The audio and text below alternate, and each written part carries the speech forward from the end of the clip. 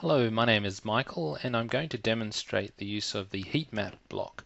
Starting off uh, in this course you'll notice that I've got editing turned on so I can go down here and add a new block. I just select heat map from the list of blocks and when the page reloads the heat map block is added.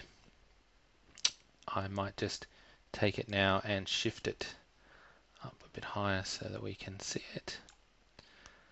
You'll also notice that in the central column of the course, uh, where the activities are, uh, the uh, there is an overlay uh, with a colored background and the number of views and the number of unique users alongside each activity. Now, uh, when there is uh, no activity, of course, the, that's not added. You can toggle this view on and off and I'll note that only sort of teachers can see this, so students students aren't able to see this information. There's no special settings that you need to add.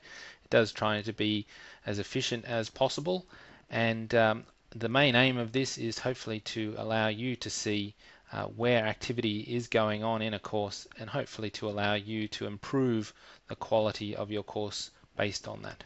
Thanks.